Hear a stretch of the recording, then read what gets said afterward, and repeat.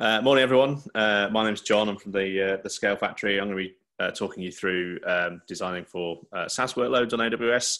Uh, with me on the call this morning, uh, I've got Steve Dodds, who's one of my uh, solutions architects. He's going to be uh, keeping on the chat and answering any any questions that you have in there, um, and making sure that everybody's behaving themselves. we also have from the Amazon Web Services account management team, Izzy Perkin and Ashley Williams.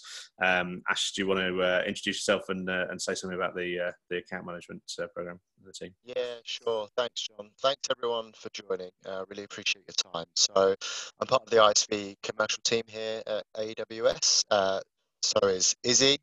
We both have the same roles, and it's really about supporting ISVs and leveraging the breadth and depth of, of AWS services, but also, uh, where possible, helping you go to market, removing blockers, developing co-build, market, and sales strategies. Um, yeah, really happy for you guys to be here. If you're not sure on who your AWS account manager is, um, please reach out. We can make uh, we can make introductions either to myself or Izzy, or if you sit somewhere else in the uh, ISV team, um, we can introduce you to your relevant rep. Um, so yeah, back to you, Jon. Cool, thanks, Ash. Uh, I'm just going to share my screen and then we'll uh, we'll get started properly. Uh, this is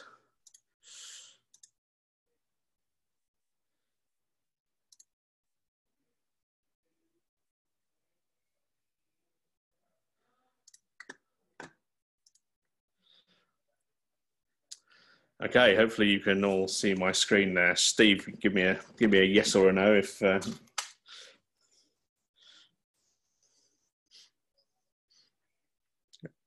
Sounds good. Um, okay, let's get started. Um, so, just a bit of housekeeping before we before we crack on. Um, so, uh, this is uh, this is a Zoom webinar. If this is your first time using Zoom for webinars, there's a couple of uh, a couple of sort of things that you should know. Um, the um, if you have any questions as we go, um, there is a Q&A button at the bottom of your screen. If you press that, a, a box will pop up um, and uh, you can type your question into, into that box. Um, I can see the Q&A box on my screen um, in the uh, event that um, the question looks relevant to what I'm talking about or I can segue. I will, I'll try and answer it um, while, I'm, while I'm in flow. and uh, I will uh, use the uh, use the question box to uh, to, to to try and uh, uh, answer questions as we go. Um, at the end of the session, um, there will be a, a, a more official Q and A section, so I might defer some of the questions until then. Um, you're also welcome to uh, to use uh, the chat box to to ask questions. Steve will keep an eye on the on the on the chat box um, and um, and answer anything that, that's that's going on there. Um, I won't be paying attention there while we while we go, so so I don't uh, don't expect to, to hear anything from me uh, based on on a thing you put in the in the chat. Um, we are recording the webinar. Um, it's uh, the recording is currently going. It will be available after um, after we're finished. Um, I, am at this point unclear whether you get an automatic email from Zoom uh, with a with a webinar link uh, to, to watch the video back. Um, if uh, if not, then you can email me after the after the webinar. I'll make sure you get access to that recording. I'll also make the slides available, so don't worry about making copious notes. Um, these uh, these will be available as a PDF uh, to download uh, a little later today. Um, just a little bit of housekeeping today. Um, I'm uh, I'm in my flat, obviously, like everybody else. Um, it's a lovely sunny day here in southeast London. I hope it's it's nice where you are as well.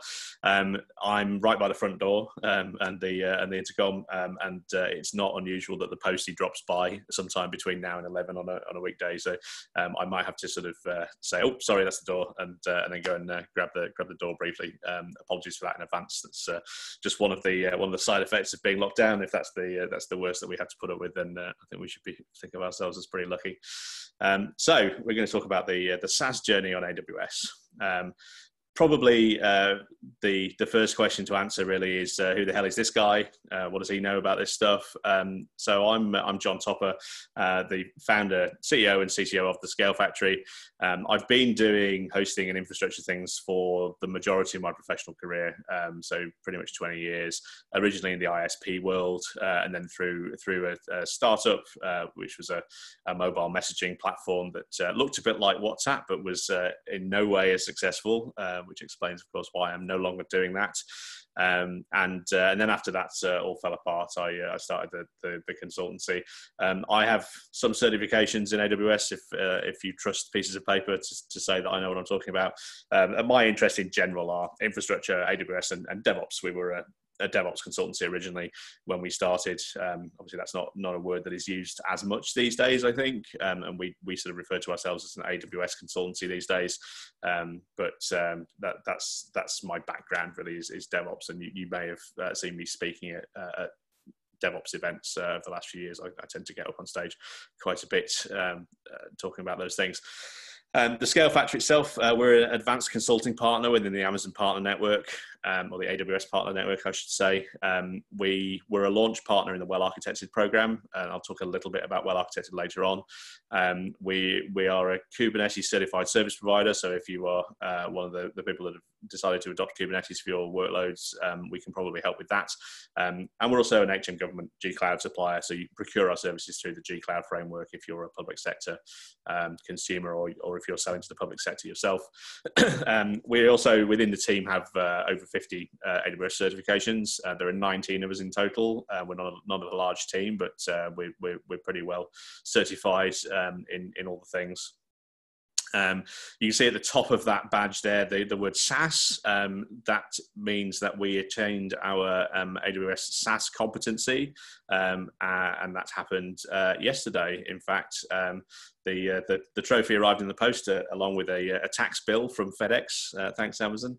Um, and um, the, this uh, competency basically recognizes our track record in delivering solutions for SaaS vendors such as yourselves. Um, and uh, uh the, the sort of process of doing that uh, involves uh, us attesting to certain abilities within our team and um, and then talking about some of the work that we've done.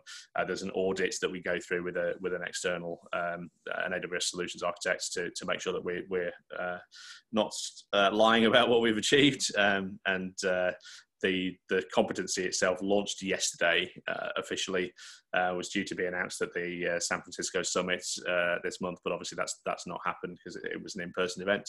Uh, but we're, we're really proud of this and you'll, you'll probably see uh, see us talking about this on social media quite a bit in the in the coming weeks because um, it's it is quite an achievement. We're, we're one of only two UK headquartered partners um, to to have attained this uh, in the launch.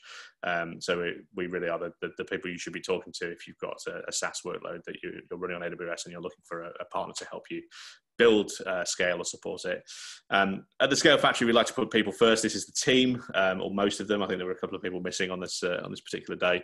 Uh, as I said, there are 19 of us, but we punch above our weight. We're, we're very efficient, um, and uh, the majority of the team is uh, is engineering and consultancy. We have a small admin function, uh, so we're a very technically oriented team for the most part. And uh, I think that, that shows in the work that we do. Uh, we've worked across the across the board with a number of uh, different clients um, uh, in different uh, different sizes and shapes. Not all of these are SaaS vendors, but many of them are. Um, the, you can see obviously the, the, the, names that you recognise at the top there: Expedia and ITV, um, and uh, the uh, down the bottom there are some sort of uh, less well-known brands, shall we say? Uh, but we've worked in um, in enterprises, as you can see. We've worked in in startups, uh, in sort of SMEs and scale-ups. Uh, we've worked in the healthcare and life sciences sector. We've worked in the financial services sector. We've worked in e-commerce and media delivery. Like we, are a very sort of broad. Uh, we have a very broad experience base um, and and experience working in um, compliance and security regimes uh, that uh, that some of you may need to conform to with the type of work that you do. Um, so the agenda today, we're going to talk a little bit about tenancy options um, and uh, and then some uh, some AWS services that are that are relevant to uh, to the SaaS story in general. We'll talk a bit about security because security is really job zero and it's it's important for everybody at, at, different levels. Uh, and we'll talk a bit about monitoring as well in, in the context of, of, SaaS services and why why that's important. Um, when we are looking at uh, infrastructure. Um, we have a particular approach. The Scale Factory way is, is to uh, to put people first. So we, we uh, on average want to make people's lives easier and not harder. Like um, everything that we do is is people oriented. Our team are obviously people. Um, you are people. Um, the the uh, customers we consult with are made up of people. Your your customers are uh, are also people. Um, we we think a, a human centric solution is is probably better than a technical solution every time. Um, the uh, matching solution to workloads um, context really is everything. So um, we're not going to suggest a, a huge um, undertaking um, that is like you know military grade security if what you're doing is um, you know selling crafting products online for example um, so we understand your business context and we work to provide a solution that fits within that um, we believe in leveraging the AWS platform. It leverage is a kind of shitty word um, that uh, that gets sort of thrown around as, sort of David Brentism, but um, in in this case, what I mean is is the literal uh, sense of leverage. So you put a small amount of effort in and get a get a lot of output out, um, and um, and I'll talk a bit more about that later. And we believe in automation. We grew up as a, as a DevOps consultancy, um, so we believe in the DevOps principles of culture, automation, lean, monitoring, and sharing. Um, and we we automate everything pretty much uh, where there's a um, where there's no good reason not to. Um, that's that's really part of our approach, um, and we believe that um, change is, is inevitable. We're always going to be changing things. The idea that you can build a single solution and have it stand forever as it is is uh, is not really accurate. Um, and so we we work on the assumption of continuous improvement. Um, so we, we're we're always making it possible with the solutions that we build to iterate on those solutions and make sure we can improve them every time we, we go in there and, and do some work. So um, that's enough about me for the time being. Um, let's talk about you. Um, so um, you as a as a SaaS vendor will have um, a number of different uh, considerations around your product. So um, maybe you're a B2B or business to business play. And so you're selling your solution um, maybe a smallish number of times to large customers. Um, or perhaps you're selling uh, a B2C, so business to consumer. Maybe you're, you're selling a, you know, a large number of units of your products to, to you know, millions of people. Um, and, and that's part of your business context and the decisions that you make are going to be driven by those sorts of considerations um, how many customers do you have is, is something to, to think about and um, uh, and where are they? So um, uh, the location of your customers is likely to inform things like what region you deploy into, um, what um, compliance and uh, legal regimes you need to be aware of, um, and things like that. Uh, there's a question about how much they pay. I think it's it's important to understand your uh, the economics of your platform. Um, if you uh, if you know how much your customers pay, you can make reasonable um, decisions about um, the cost of delivering service to those customers. Um, so if you have millions and millions of customers and they're paying you know a, a dollar a month or something of, of, of, that nature, then the way that you think about the value of, of an individual customer and, and the cost of supporting them is going to be different to if you've got say five customers who are paying a couple of hundred grand a year. Um, so bearing that in mind is, is important. Um, and whether there are any regulatory considerations uh, in the UK and Europe, you're almost certainly um, going to need to pay attention to GDPR. That's that's your sort of table stakes. Um, but if you're in the healthcare um, sector, you might be worried about HIPAA. If you're selling to the US, um, there are various things in the UK you might be worried about from a, healthcare perspective. we've in particular worked with CFR 21 Part 11 through one of our healthcare customers. There's uh, if you're transacting credit cards yourselves then obviously you've got pci dss to worry about uh, at various levels depending on the architectural decisions that you make so these are all things to think about when you're uh, when you're looking at your product uh, and these are the constraints that you're working within um, when you're building your infrastructure so if you think about um, the things that are going to be informing your architectural decisions. Um, on the left there, you've got the customer needs. There's the things that uh, things that your customers care about. So features and the cost and how quick does the thing run and what how available does it need to be? Uh, what is the security uh, requirements of that of that platform? Um, and so they, these are things that you care about because those are the things that your customers want to want to um, care about. Uh, on the right hand side there, you've got compliance needs. So these are things that that are basically enforced upon you from the outside. So things that that a a government or or um, professional body or standards body cares about, and often those will include security. Um, there's uh, documentation requirements. There's probably a level of reporting requirement. Um, and probably some level of, uh, of change control uh, required. Um, and both of those customer needs and compliance needs are going to inform the architectural choices that you make. Um, and you have to do some of these things earlier than others. Some of the uh, if you're uh, if you're within a compliant market, then you probably need to consider some of the stuff in the compliance landscape earlier than you might get to it if you were uh, if you were not in the in the uh, compliant market. So um, it's um, it's often surprising to the startups that we work with when they are selling to uh, to kind of fintech and uh, the pharmaceutical industry and so forth um, that they uh, that they have all of this extra stuff that they need to do and there's a lot of effort that goes into it um, there's often a significant um, spend in terms of time and, uh, and money to, to get to that place early um, and earlier maybe when when you'd like to instead be spending time building features you don't really have that choice in the compliant landscape so let's talk about tenancy um, and tenancy, when we talk about tenancy, what we're talking about here is um, every customer of yours is a tenant of some kind. Um, and the, uh, the, the nature of a SaaS service is that you are running a platform that supports multiple customers and therefore multiple tenants.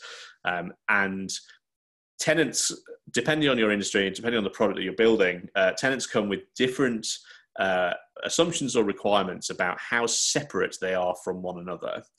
Um, and there are a handful of different ways of achieving this, um, all of which have uh, have different trade-offs. Um, it's uh, it's often the case that, for example, one uh, one noisy tenant might cause disruption for another, and they want to you want to, to uh, limit the impact of that. Um, you might want to uh, for your financial services product demonstrate um, to your clients that um, one customer can't see each other's data and that you've made uh, made good design decisions to prevent that from happening. So this is something to consider reasonably early on. Um, and the, the range really is from on the left there, there's the pool tenancy model, which is where you're using one set of infrastructure for every tenant on your platform. So you're sharing in this model, the, the, the logos in this diagram, um, just to, to sort of fill you in there, the, the purple one there uh, is at the top is a, is a load balancer. Um, the orange stuff in the middle is, uh, is uh, servers. I can't remember which which uh, particular server I've used there. Maybe a maybe a Fargate cluster or something. Um, and at the bottom is uh, is database. So in the pool model, you see that everything is all tenants are sharing the same set of um, databases, the same compute nodes, and the same load balancer. Um, in the middle option, there is this uh, this concept called a bridge tenancy, which is where you might have some shared um, some shared components. So in this model, the database uh, is shared across all tenants, um, but some per tenant um, infrastructure de- deployed in this model here. The uh, the load balancer and the and the compute is, a, is per tenant. Um, and on the right hand side, there is a silo, and the silo is um, where you have a completely separate set of infrastructure for every tenant. Um, and you can imagine that the that there are cost implications to this. So on the uh, on the pool end, obviously everything is, is cheaper because you're you're reusing infrastructure across every tenant. Um, the silo is more expensive because you're you're not able to kind of share compute resources, and so if you've got tenant one as busy and tenant two as idle, um, you're still paying for um, two sets of, uh, of compute infrastructure for the, for those tenants. Um, so they're, they're, obviously more expensive. Um, but the trade-off is that with the uh, with the additional cost, you get better isolation. So um, in the pool model, obviously your uh, your tenants will have data sat on the same databases. That might not be appropriate for your uh, big pharma clients or your your fintech clients, your banks, and so forth. Uh, on the right hand side there, you're able to point at a database and say, "Hey, Mr. Tenant One, um, your data only exists on uh, on this bit of infrastructure." so it's it's much easier to make um, assertions about isolation there. Um, there's also a complexity trade off. Um, the more things you have to run, the higher the level of complexity. So, over at the, at the silo uh, end, uh, you're paying more to get um, additional isolation, but things are a bit more complicated to run as well because now you have um, separate uh, separate sets of infrastructure for every customer, and so you have to if you're making changes um, and those changes are versions, you have to make decisions about whether you're uh, deploying those changes to every tenant simultaneously. Do you have multiple different tenants all on different versions? Depending on the change control model that you have to conform to within your, your compliance regime, that might be a necessity. Um, so there's there's a lot of things to think about there. Um, your I mean, my general advice is to try and start with a pool tenancy model um, until you can prove that um, something a bit more complex is required. Um, because pool will always remain the most straightforward, it will always remain the most cost effective, um, but it might not always meet the um, the isolation requirements of your workload. Um, so try pool as far as possible. the other options are available as you go. Um, and when we talk about isolation of tenants, um, certainly in the, in the silo model, uh, there's sort of complete isolation. Uh, we have different ways of doing that in the, in the platform as well. Um, so at the, at the sort of lowest complexity, lowest level of isolation, um, you know, lowest cost and, and lowest usage transparency model, I'll talk about what that means, uh, is the application layer. So you're writing code in your software um, in order to to deal with um, tenancy segregation. So you might have one deployment of your application, um, and that application might uh, look up a, a, tenant ID in a database and make decisions based on that tenant. So that, that's the sort of the most isolated um, you can get in the in the software itself.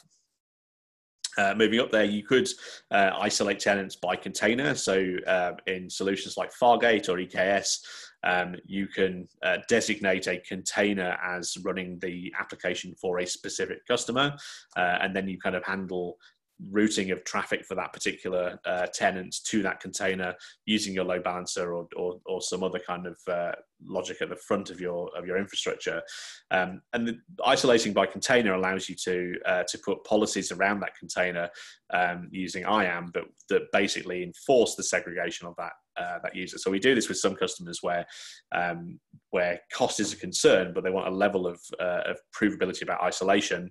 Um, we might have, for example, a number of folders in an S3 bucket, one per tenant, we can now create an IAM policy um, that attaches to the container um, that restricts access only to the uh, to the path in the S3 bucket that relates to that particular tenant, and, and so you get a, a way of, of demonstrating segregation in the in the access control layer um, in a way that that might be sufficient for your um, uh, for your tenancy requirements, but is also less complex than going all the way up to separate accounts, uh, which we'll, we'll get to. Um, there's uh, you can do tenant isolation in the sublet, subnet layer, so you could in a single VPC um, deploy a subnet or a, or a subnet per availability zone for every tenant and be able to demonstrate with uh, network access controls and security groups that uh, one tenant can't reach the data or the services of another. That's that's an option. Um, you might also consider deploying a separate VPC per, per tenant, and probably if you're looking at subnet tenancy. VPC tenancy is, is not a big step away from that, um, where you have a VPC deployed in a, one account, multiple VPCs, one VPC per tenant, uh, and then you use the access controls around the VPC to make sure that uh, tenants can't see one another. Um, and then at the sort of highest uh, level of, uh, of isolation, you've got the AWS account layer. So you might have an account that you create on a per tenant basis. Um, you might leverage something like um, Control Tower to make it easier to, to create those uh, those other accounts. Um, but then you, uh, you we've seen this for customers who work in the financial services sector, um, where their banking clients um, want to see account level segregation uh, in order to, to feel comfortable that their data is not um, is not being commingled with uh, with another's. Um, so the um, the sort of trade off considerations here are um, operational complexity. We've mentioned so it's obviously more complicated to run multiple accounts than it is a single account with a with just application in it. Although in the application uh, tenancy isolation model, obviously you're pushing some of the complexity into the code, um, but that might be okay. Um, the uh, obviously the the AWS account uh, isolation uh, model is is much more isolated than application uh, isolation. Um, usage transparency, um, I think, is really important in a in a SaaS environment because you want to understand which of your tenants are um, using more resources than the others. You, got you want to be able to segregate um, the information that you have about usage and be able to say, um, you know, customer one is using three times the resource of customer two, for example, uh, and use that to understand uh, how much value they're getting from your platform, maybe to inform your uh, your pricing model. Maybe you are uh, in your particular SaaS model charging on a per gigabyte transacted basis or a, uh, you know per per CPU hour um, run basis and so you want to be able to model that it's much easier to see um, different tenants using different amounts of resource in the account layer um, than it is in the application layer, for example, where if you're if you're doing um, application layer tenancy, uh, you're going to have to monitor that usage entirely within your application. So you're writing code to achieve that. Um, and obviously, you've got cost at, at the application layer uh, and, and the container layer. You're sort of sharing infrastructure, um, and so your your costs uh, profile is um, uh, is going to be lower than the uh, than the account uh, segregation layer because um, in the account layer, uh, if your tenant is not using that infrastructure, you're still paying for it. Um, uh, you've still got databases running and so forth. You're not able to kind of share those resources across tenants. Um, so it's worth understanding that um, the more segregated your your customer data uh, needs to be, um, the more it's going to cost to run the platform, and probably the more you want to be charging for that uh, that platform um, in your um, uh, in your billing as well. Um, so just briefly, a sort of foray into a into a case study. Um, when I ran this slide deck in person, we actually invited uh, James from Essentia to come and come and speak. I haven't done that today, um, but uh, Essentia Analytics are a um, are a, a, fintech business that uh, provide information to uh, to market traders uh, about their trades, uh, and they correlate that with certain sort of social and, and personal pieces of information, um, so that they can say what influences uh, good trading on any, any particular day, and they can coach their coach their traders through that, help them uh, remove bias from from how they're trading by by giving them data to, to feedback from, um, and so they're selling their products to uh, to banks um, and to hedge funds and, and other you know, financial organisations, and obviously those organizations don't want that data, their data to be shared with anybody else's because there's a competitive edge there.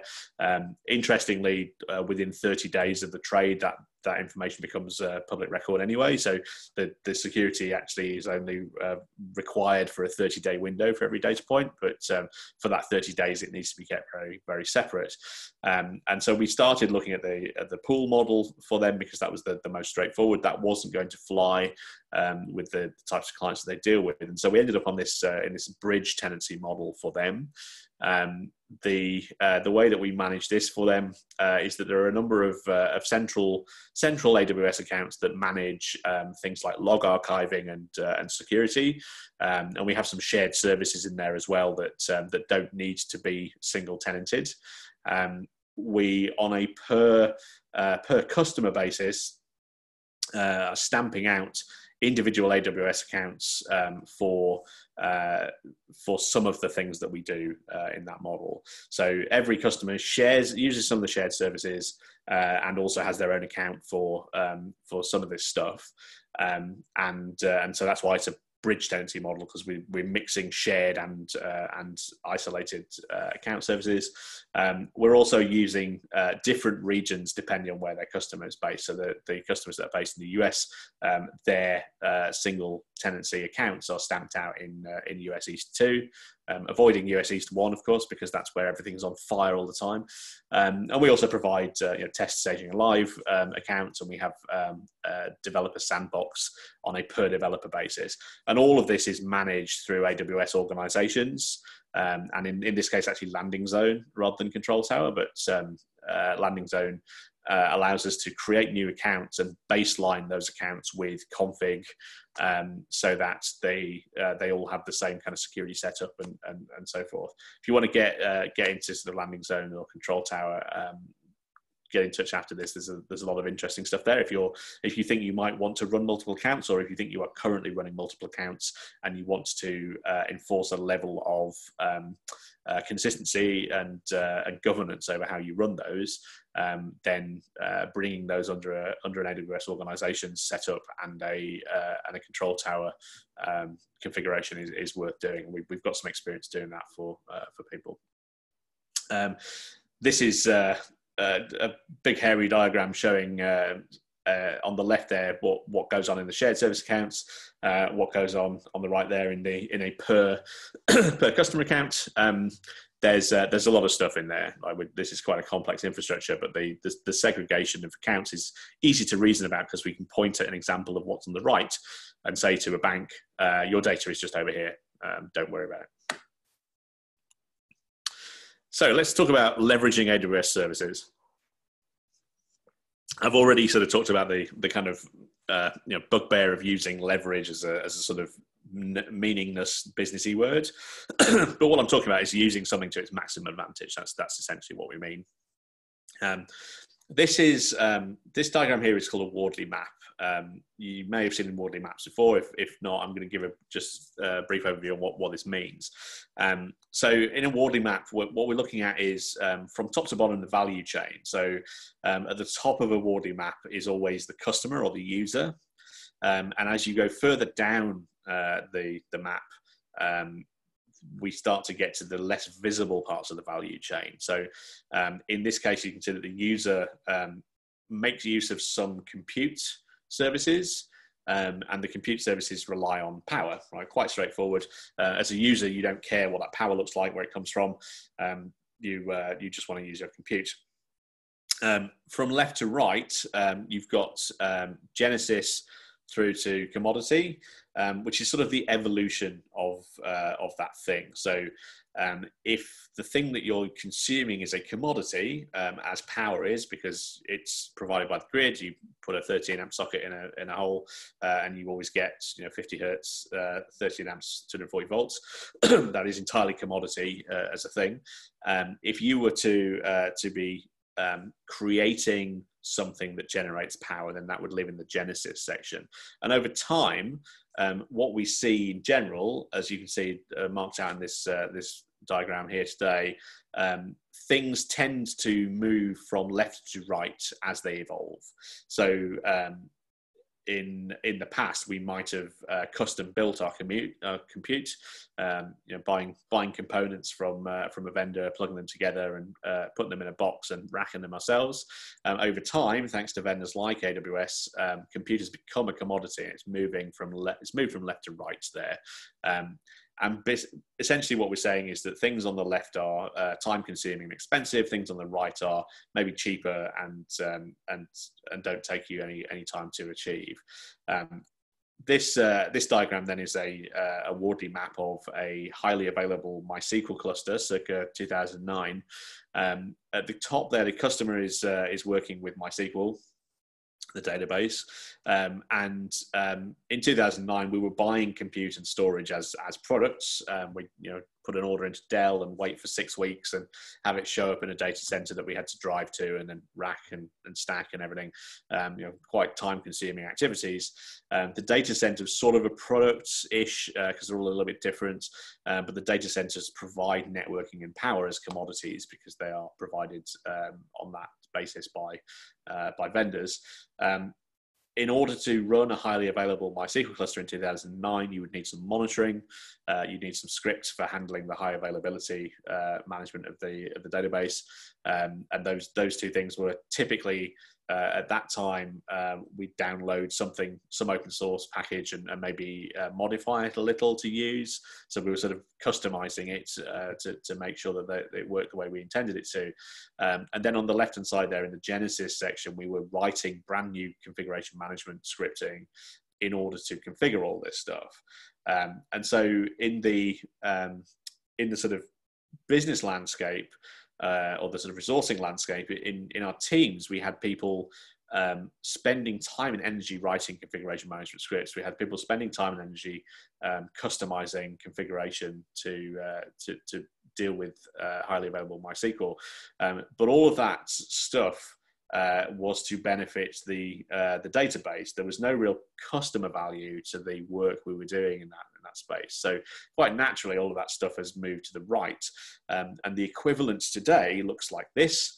Um, which is essentially just buy AWS Aurora, right? That's that is a highly available MySQL like database um, that you can just use as a customer, um, and it's a commodity. We've we've bought it from a vendor um, uh, you know, you, you, could buy it from another cloud, or you can buy Aurora from another cloud vendor, but you could you buy something MySQL compatible from another cloud vendor. Um, this is therefore a, a commodity item, um, and all of that space now in the left, where there's nothing going on in Genesis or custom, um, that is now representative of the time that you've freed up for your development team and your engineers to spend time doing things that are actually valuable to your customers. Um, and so by adopting an AWS service, um, where a lot of the high availability and the operational overhead is taken care of for you by by that vendor, um, you are freeing up your own team's time to work on higher value problems, and that's really the the, the sort of the benefit that we that we present when we talk about uh, adopting the cloud for things. Um, you're taking things that are um, non-differentiated, um, so um, running a MySQL database is not a, a, service differentiator for you as a business, uh, and you're buying that instead of building it. Uh, and I, that's really powerful. That's why I think that there's benefit to, to adopting these services. Um, and if you look at the AWS uh, product suite, um, there are a lot of different types of service that you can buy now. It isn't just computer databases. There are machine learning. Um, there's um, there's VR and AR. Um, there are uh, you can even you can even stand up a satellite base station if you wanted to to download uh, data from your uh, from your satellites, uh, which I guess unless you're Elon Musk, you probably uh, are not doing in, in your business, but uh, maybe you are. What do I know? Um, really, what I think the, the message of this slide is that if you're if you're deploying software into AWS, if you're if you've if you've built something or you're downloading something off the shelf and customizing it, or even just sort of taking a, a, a an open source database service, if you are deploying that yourself into AWS, um, then you've probably made a mistake somewhere because there is likely to be something in the AWS landscape that provides more or less the same uh, same features for less uh, less management overhead. So um, I implore you to to look at what what is on offer in the cloud and consider adopting those services even if you have to change your app a little bit to to make it fit or change the way you think about problem to make it fit because in doing so you are leveraging um, that cloud cloud vendor uh, services uh, and freeing up time for your engineers to spend uh, on on things that are actually valuable and will differentiate you uh, from your competition. Um, so things that are relevant in the uh, in the SaaS world, um, Amazon API Gateway. So this is a, a managed API gateway service. Um, actually, I think I have separate slides on each of these, so I won't go into, into loads of detail here. Uh, there's Cognito, um, there's SNS and SQS, um, which are uh, uh, about managing queues and and, uh, and notifications. Uh, DynamoDB, which is a, a key value database. Uh, S3, which is an object store. You've probably come across that. It was one of Amazon's earliest uh, web service offerings. Um, and uh, and Lambda, which is a serverless compute model. Um, and in fact, the thing that makes these interesting um, for me, beyond the fact that they are uh, very well aligned with the SaaS world, um, is that they are serverless. Um, and um, and what we mean by serverless isn't that there are no servers involved, because obviously there are Amazon data centers the world over full of humming machinery running these things. Um, but uh, what it means is that you don't have to care about the server. You're not provisioning um, you're not doing any kind of provisioning of or sizing of server resources. You're not running an operating system. So the case for adopting serverless in your uh, in your SaaS model um, is that it scales with demand. So um, you're you're only spending you're only using the resources that you need at any one time. Demand is entirely the, the provision of resources entirely elastic with the demand that you're seeing, um, and so you're paying for the millisecond of compute that you're using or the uh, gigabyte of storage that you're using and not for the remainder of the time when that compute is sat idle. So this is a really good economic case for serverless. Um, there's no traditional server maintenance. If you are uh, if you're running your applications on lambda for example um, you're not patching any any of the operating system components. There's no uh, you know ubuntu or red hat upgrades to manage. Uh, there's none of that sort of traditional, um, what I like to call janitorial shit work, like kind of mopping up after systems. You're not doing any of that because that's taken care of by the fabric of the platform. Uh, and AWS are doing that for you, uh, which again means that the, the people on your team who would have been doing that janitorial work are no, no longer needed to, no longer no longer need to do that. They can spend time on more valuable things, um, and that's that's really the message: is that if you're if you're using um, part of the platform that is um, run for you by other people, then you freed up human capital to uh, to iterate on your own product. So let's talk in a bit more detail about each of those services because they're kind of interesting. Um, so API Gateway um, is it, it's traditional these days, I think, to, for um, application builders to build single page applications in JavaScript that run in a browser or um, or apps that run uh, client side on the phone um, and that reach back into some kind of back end system using API calls, whether that's GraphQL or REST or something like that, um, we're not seeing these days as much um, the sort of generation of whole pages from application servers as we might have done in the kind of the old older school LAMP way. And certainly, people who are building applications to work cross-platform uh, are thinking very much about um, how do we build a, a, data layer that is provided by an API server, um, so that we have multiple different uh, presentation layers that exist in, in the clients that we run. Um, an API gateway is one of those things. Um, so if you're familiar with something like Kong um, or um, or maybe a, a, service like Apigee or, or, those sorts of things, that these API gateway sort of covers a lot of those bases. Um, you you can provision a, an API gateway um, by presenting an open API definition. So that's a a uh, JSON I think object that that uh, JSON document that defines your uh, API endpoints uh, and defines the data types that you're interacting with uh, using that uh, and so forth. And in, in provisioning your API gateway with an open API definition, um, a load of that stuff is just set up for you. You can have it um, uh, validate requests for uh, for type safety and, and so forth in the in the gateway itself, which means that your your code has to work a bit less hard hard for it. Um, API Gateway will also handle authentication and authorization, so uh, management of, uh, for example, uh, uh API keys that um, that you might might be using to to differentiate between different clients or, different users. Uh, API Gateway also provides quotas and throttling, so um, on a per API user basis. You can limit the amount of requests a user can can make of the platform, which means that that is again handled by the fabric and uh, of the platform, and not something that you have to write yourself, which would otherwise be time consuming, and you would almost certainly get it wrong. Um, result caching is a thing that API Gateway can do as well. Um, so uh, it can reduce the amount of requests that hit your backend if you're correctly serving up cache control headers uh, in, a, in a way that suggests that you understand how HTTP works. Um, and uh, you can also do lifecycle management. So um, a single API gateway can run um, a, a, staging environment as well as a production environment um, and uh, and handle the, the life cycle of, uh, of deployment of, of, that as well.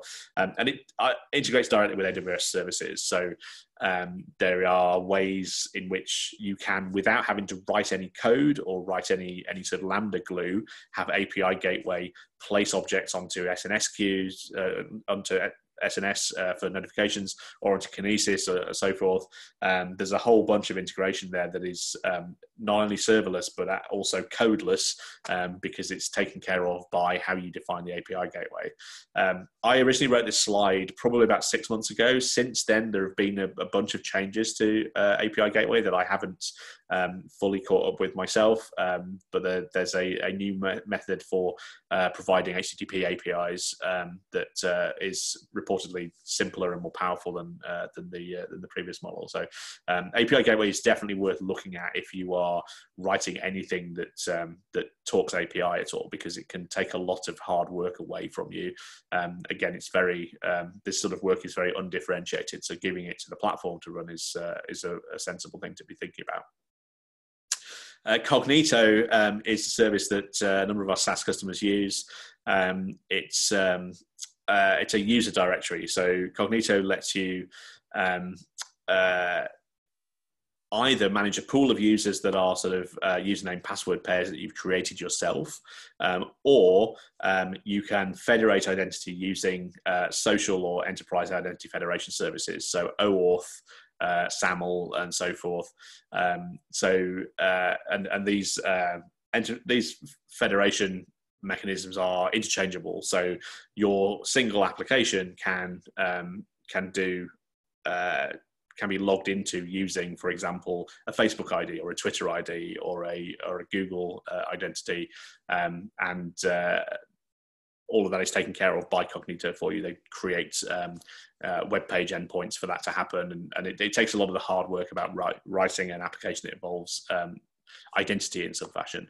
Uh, it also supports MFA um, if uh, if that level of security is important to you, um, and uh, role-based access control. Um, so you can attach different uh, IAM policies to uh, to different Cognito uh, identities uh, based on the pool that they connect from, um, and use that to uh, to control which Amazon resources or which of your API resources you can get to. So you can use um, once you've logged in uh, your application using Cognito, you can use the Cognito identity uh, to talk to an API gateway. Um, and so all of that is a joined up story, uh, meaning that you're not having to write all of that identity management glue, which is great. Uh, there's also compromised credential protection. So if uh, if credentials from Cognito leak into the wild, um, it, that's identified by other security systems that Amazon run, uh, and they can turn off that user. So uh, thereby preventing your your tenants from seeing undue activity with their own credentials. Um, we talk about uh, how application uh, layer isolation works a little bit. Um, here we we have Cognito as an example. Um, the um, this is a, a, diagram that's taken straight from uh, from the AWS um, uh, documentation. Uh, essentially, your your end user is, is going to use the app. In this case, they're a, they're a Salesforce user, and, and Salesforce is providing an OpenID Connect compliant uh, identity provider. Um, so they start using the app. They go and log into uh, to their IDP at Salesforce. Um, pass that um, identity uh, into Cognito, um, and Cognito is uh, is returning. Uh, sorry, you're, you're taking your open ID Connect ID from Salesforce. You are exchanging that with Cognito for a Cognito token. So there's a concept of a, of a token as generated by Cognito that your application can then use. Um, and then you can take that token and you can talk to the AWS STS service um, and get back some temporary AWS credentials, and then use those temporary credentials to access um, services within AWS. So in this model, they're using DynamoDB. Um, there is a there's a cool trick you can use then. So in, in this case, um, your application is able to talk straight to DynamoDB without you having to have built any server-side application components. This is all managed through uh, through the Cognito uh, identity relationship at STS. Um, so you see, it's a really powerful way of, uh, of allowing your app to interact with AWS without having to write server components. Um, and there's an IAM policy trick that you can use here um, that you would use in this sort of uh, DynamoDB uh, model, where um, this IAM policy is allowing DynamoDB actions against a DynamoDB table um, with a condition that is uh, evaluated based on a templated version of the Cognito identity. Um, and that's basically saying that that application, having logged in with Cognito, can um, put and, and, query and update and delete uh, and write things in uh, DynamoDB tables that with a with a key that starts with the ID of that user. Um, so you've got access control inherent in what that user can access in the database. Um, a good use case for this is uh, is online gaming, where you might want to manage a high score table, where you can have the the application using its uh, STS identity that it's got because you've logged in with Cognito to write to a table in DynamoDB its score um, against a key that matches the ID of that user. Um, it can't then go and modify other user scores, um, but you might also have a have a uh, policy that allows a read of all of the DynamoDB tables in order to to uh, pull out the, the high score and display it, all without writing any any server code, without writing any lambdas, without running any containers, without running any servers. This is really powerful, and if you can shift your mindset of thinking about having your applications work like this, um, then there's a lot of stuff that you can achieve um, with minimal glue. Um, uh, just by uh, by leveraging parts of the platform that work this way.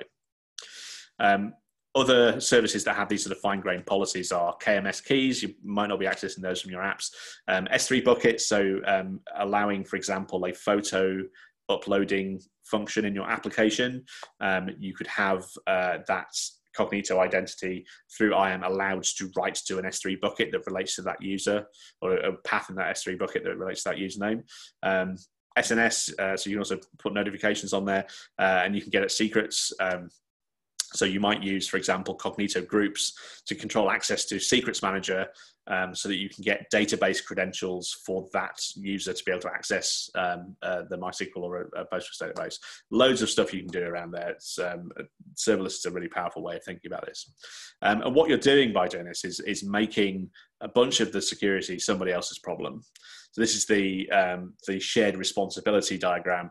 Um, below the line is um, is the AWS landscape. Um, AWS will look after the security of the cloud, so they are physically securing the data centers. They're making sure that the compute is secure.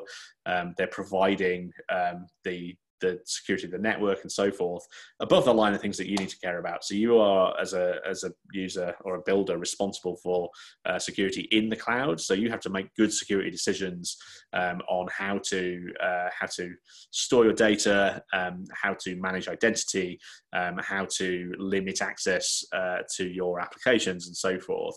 Um, so just by adopting the cloud doesn't mean that Amazon are doing all the security for you, but they do provide you with a lot of uh, a lot of foundational work and the tools to make good security decisions yourself.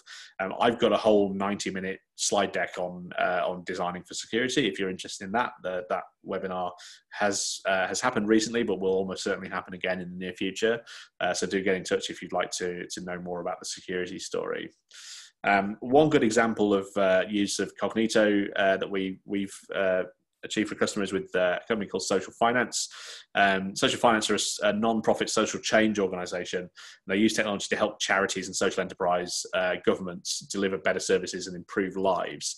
Um, and this was a, uh, a solution that we we put together for a, a service that um, managed data about um, uh, individuals, uh, vulnerable individuals leaving a care system, uh, and the data was uh, was presented to local authorities so that they could see how they were performing, uh, and there was some sort of central uh, organisations who could see all of the data and, and make make assertions about that. Um, in this model, we used Cognito to handle identity, so we had a Cognito user pool uh, managing uh, managing users. Um, we we also built the capability to uh, to allow local authorities who are using Active Directory um, to to manage their identities uh, to use that to log into into Cognito. Uh, the application itself was a website, um, a single page app running running in the uh, with JavaScript, um, and that uh, JavaScript interacted directly with a, with the API gateway um, using the credentials that they they'd achieved through uh, logging in with Cognito, um, and that API gateway um, managed the access control such that uh, if you were from one local authority, you could only get at data from that local authority. It was all done on URL URL uh, matching rules.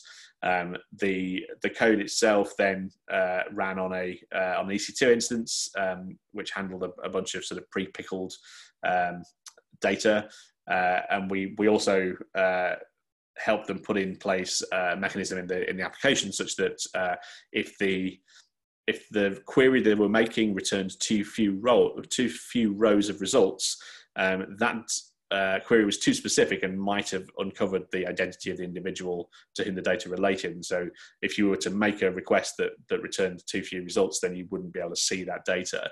Um, the the real benefit of this was that, um, as well as the access control story, which we could then sort of point at all the configuration and say, Amazon's taking care of the access control based on these rules that we've that we put in place.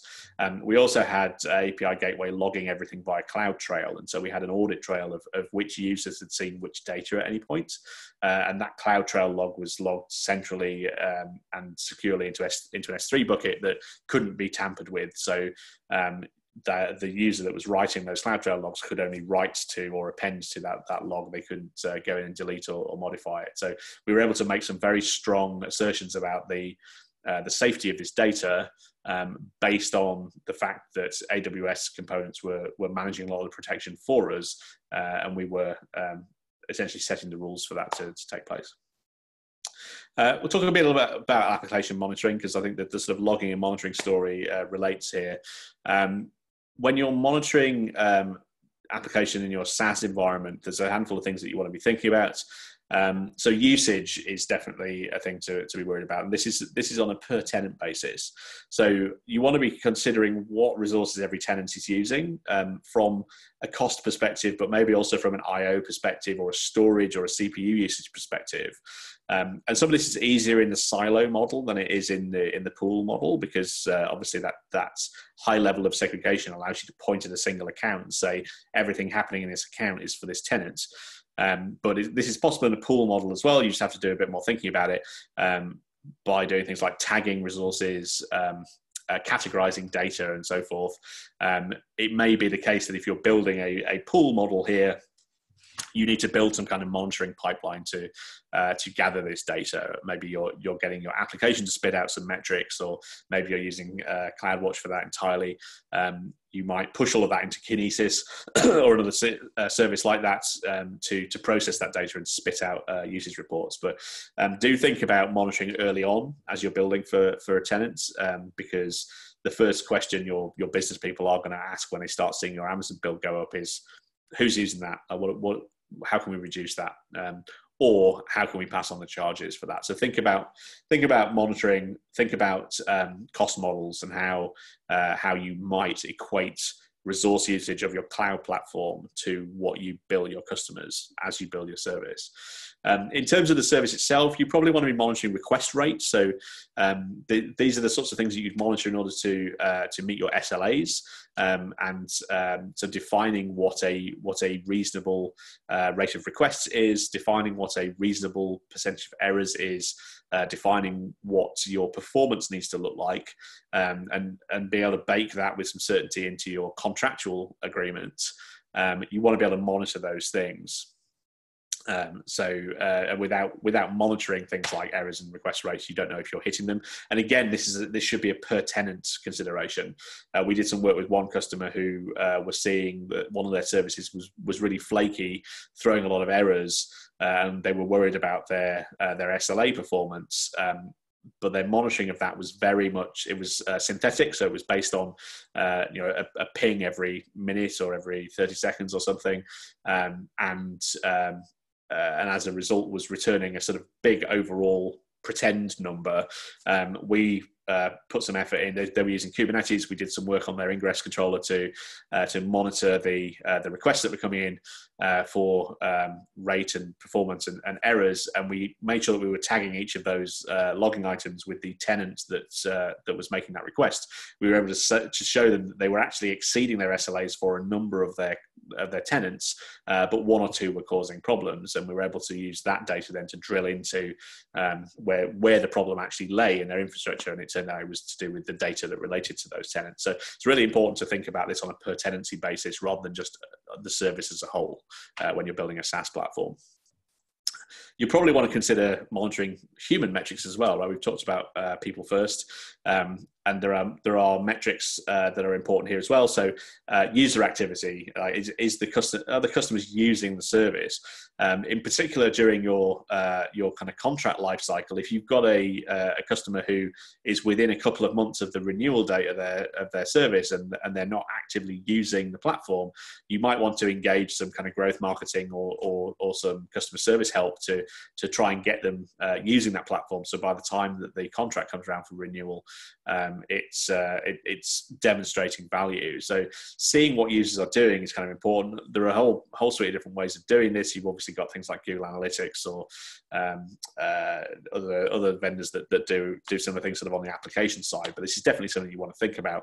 Uh, and similarly, help desk uh, load. If you've got a, uh, a help desk system where your customers can ask questions, uh, then obviously the seeing seeing who is asking the most questions uh, has a cost implication, um, but also uh, you want to be using that to drive uh, improvements to the platform as well. So if you can equate uh, your idea of what a tenant is from your um, from your application to the idea of what a tenant is as far as your help desk is concerned, um, then uh, you have a sort of joined up view of the world, and I think that's that's an important thing uh, to be doing from a DevOps perspective, um, the the things that we're interested in uh, in that sort of side of the universe is deployment frequency. So how quickly or how often can you make changes to the platform?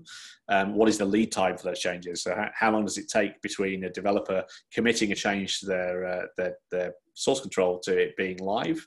Um, in the event of a failure, uh, how long does it take to restore service? Um, and how many of those changes that you make result in failure of some kind.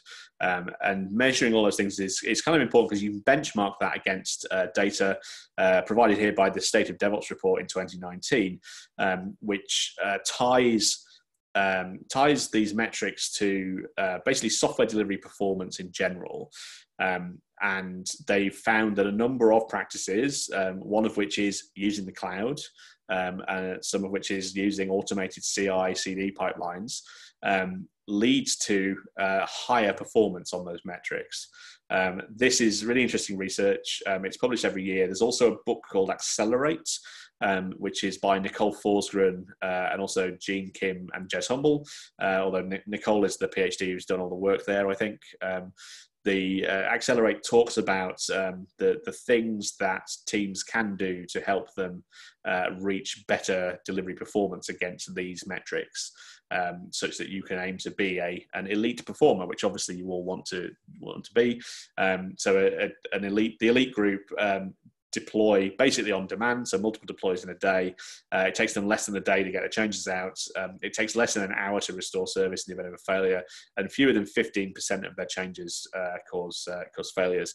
Conversely, a low performing organization um, breaks their platform uh, between 46 and 60% of the time when they change something. You definitely don't want to be in that group. Um, and uh, if, if you are currently building uh, SaaS software and, and you feel like you, you might be benchmarked into the kind of medium and low performing group, please do give us a call because there are a number of practices that we can introduce very easily for you um, that will um, help you uh, improve your, uh, your, your change failure rate and your, your deployment frequency. Um, so just in, in sort of closing, um, I think you should be thinking about designing for a pooled tenancy model first. There are I've obviously presented other options, um, but the pooled tenancy model is the most straightforward and most cost-effective uh, and least complex approach. Um, so if you can design for that and build your application to assume that, uh, then you can go towards the, the other tenancy models later if you need. Um, but uh, but forcing yourself into multiple account tenancy is um, is a definitely a, a, kind of one way trip to life being complicated. Um, and we've worked with a number of businesses who've built applications that have never thought about tenancy um, early on enough, and so they are stuck in that multiple account model and, and realizing that um, amongst other things, because it's expensive to run an individual tenant, um, they can't sell to the smaller end of their potential viable market, and so they're sort of seeking to, to change the way that they think about building their app so that they can run a lower cost variant of the of the platform for tenants with less money essentially. If you do that design up front um, you, uh, you you don't uh, get yourself into into a mess later. So do think about that. Um, please do leverage the AWS services. Um, I know there's a lot of sort of talk these days about multi-cloud and cloud agnostic. Uh, most of that, in fairness, comes from vendors who want to sell you a tool to help you be multi-cloud or cloud agnostic. Um, my view is that certainly if you are getting started as a business, um, you are going to move much quicker if you can uh, if you can rely on on the, the on this platform existing only in a single cloud. Um, and beyond that, um, the, the, the idea of cloud agnosticism is kind of a lie uh, because as soon as you do anything in any cloud vendor's platform, you, you hit things like the security model, um, which will always be um, cloud specific. Um, so don't worry about uh, about cloud lock-in, whatever the hell that means. Um, make use of the services that the the platform offers because that's going to make your life easier uh, and free up more of your engineering hours for uh, for differentiation activities. Um, do use the AWS security features. As I say, I've got another 90 minutes on security. There's a whole hell of a lot to think about. Um, in particular, if your teams don't know IAM very well, that is a very good place to start. Uh, we run training courses on uh, on fundamentals of IAM, um, and so we can we can talk about how we might be able to help with that uh, if you like. Um, uh, but there are also uh, you know, detective controls and preventative controls and, and also some other things that uh, if you don't have uh, those turned on, things like uh, GuardDuty, uh, CloudTrail, so forth. Um, you're not using detective or, or Macie or those sorts of things. Then let us know. there are there are almost certainly easy improvements to make in that world and thinking about monitoring as a, as a first class citizen, like do, do monitoring, um, build monitoring in as you build your app because um, adding it later is harder work and you're going to want the insights that it gives you, um, particularly on a per tenant basis. Do think about per tenant monitoring. Um, that is the, the, the big uh, the big sort of gap between teams that can monitor and teams who are doing a job of monitoring in, in, a, in a SaaS environment is that thinking about tenancy as part of the part of the monitoring story.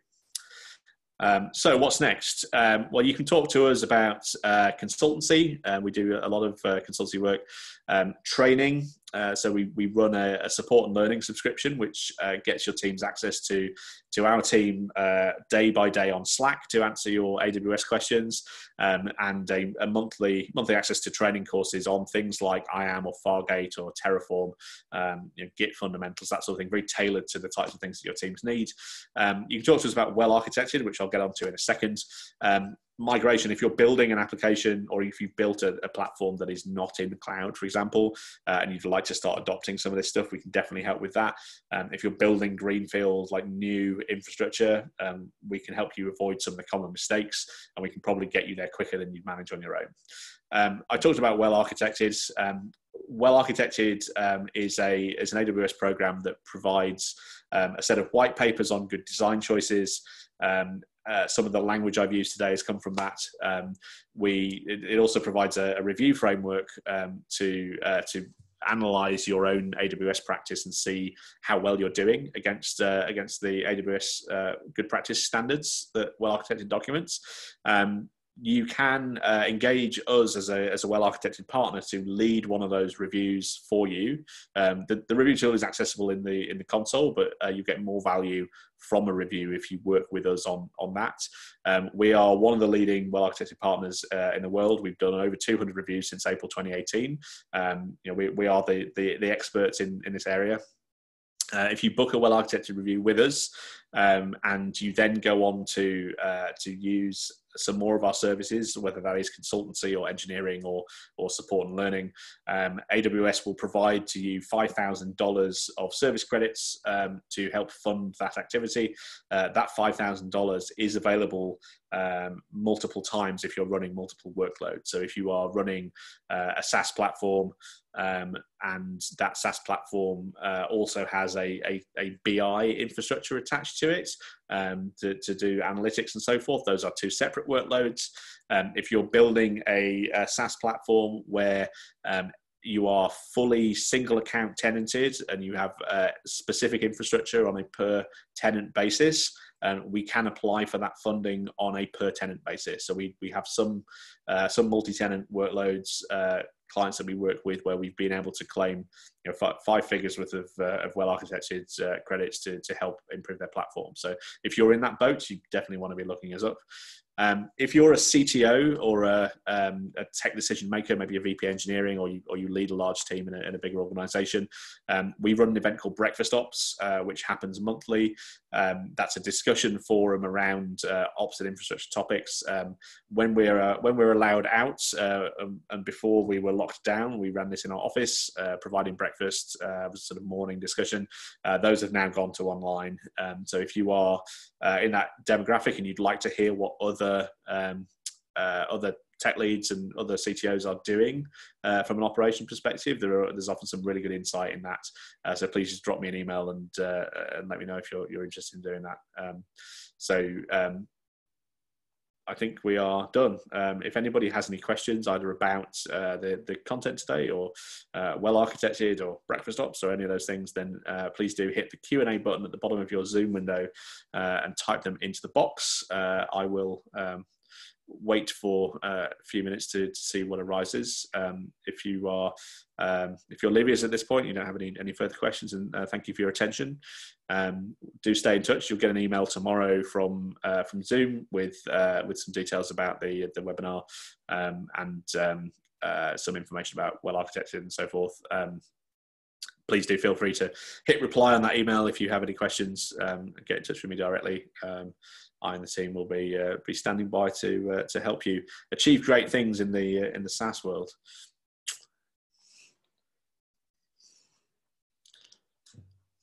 So no, no open questions uh, for the time being. Oh, there we go.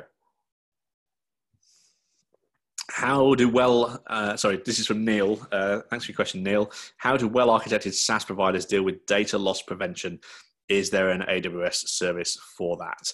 Um, so, um, yeah, data data is an interesting interesting question in the AWS landscape. Um, almost everything that you uh, that you store data in um, fits into that category of, uh, of above the line in the shared responsibility model. So you're kind of responsible for everything that goes on with your data. Um, the um, the data services pretty much all have some kind of um, backup option. Um, so RDS has uh, has automated backups um, that can be scheduled. They, they, also, RDS will also allow point in time recovery um, because it, it, keeps a replication log that you can use. Um, services like DynamoDB originally didn't have any backup provision, but I believe has a proper backup service now. Um, so uh, for the most part, each of those services you can look at and go, this is this is how I'm going to back this up, um, and you can make a decision about the recovery time, recovery point objectives um, about that based on the, the documentation in the in the product itself. Um, this is of course easier if you're using Amazon's data services. If you're running your own, um, for example, MongoDB, there's no um, there's sort of a compatibility layer uh, Mongo service in Amazon, but there isn't an actual MongoDB service. So if you're using Mongo, you'd have to run that yourself, and then you'd have to be um, doing the doing the dance of making Mongo uh, snapshot or backup uh, on its own. Um, data exists in a single region by default. Um, if your um, if your disaster recovery planning um, incorporates the idea that you might want to uh, you might lose an entire region, which um, has almost never happened, um, and certainly not uh, not to, not at that level of totality, then you might want to think about replicating data that's been backed up to other regions if you do that and that data is encrypted, there are some uh, some kind of uh, considerations to worry about as far as moving encryption keys around and so forth. Um, but um, yeah, there's uh, there are plenty of uh, plenty of things to to uh, to think about in terms of, uh, of of data loss prevention, um, and really it's sort of it depends on your um, on your recovery point objectives as much as anything else as to as to how you how you approach that. Um, but yeah, use use the use the services that the, the, the cloud provides uh, where you can. Uh, hope that's answered the question. Thanks, Neil. Um, question from Azad: Will the recording of this talk be made available? Yes, absolutely. Um, uh, I at this point have not yet worked out whether Zoom will email it to you or not. Um, if, it, if they're going to, you'll get that tomorrow. Um, if not, uh, then please reply to the email that you get tomorrow and say, "Hey, can I get a link to the to the talk?" Uh, I will send you a link to the slides, um, and that page will have a, a, URL and a password to get at the recording for uh, for this talk. So yeah, thanks, Azad. Uh, any further questions? I'm going to give it another 60 seconds and then uh, I will uh, bid you farewell.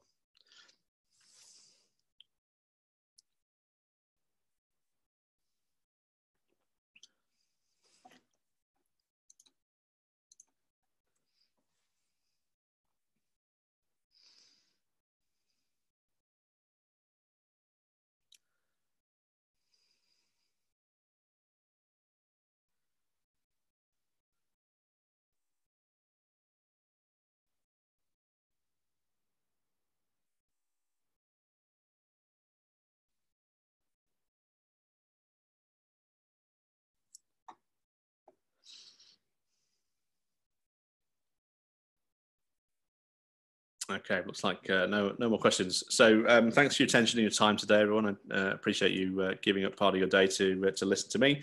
Um, please do stay in touch. Um, you can find us on the on the internet uh, in various places, um, and uh, you can always email me jon at scalefactory.com. Um, I'm also on LinkedIn, Twitter, like various various places if you want to search me out there.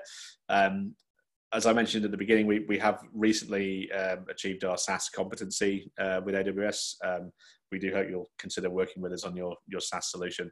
Uh, so please do get in touch uh, to, to find out more about how we can help. Um, and uh, if you are uh, already building stuff on AWS and you, would like a, a third party view on uh, on how well you're you're doing uh, against the pillars of uh, security, operations, reliability, performance, and cost, um, then uh, one of my team can uh, can come and run a review with you. Um, we we I think we've got eight of those booked this month. Uh, we've got room for a couple more. Um, so uh, if you're interested in that, please do please do get in touch. You can book those uh, on the website. In fact, there's a there's a button to choose a choose a good time for that.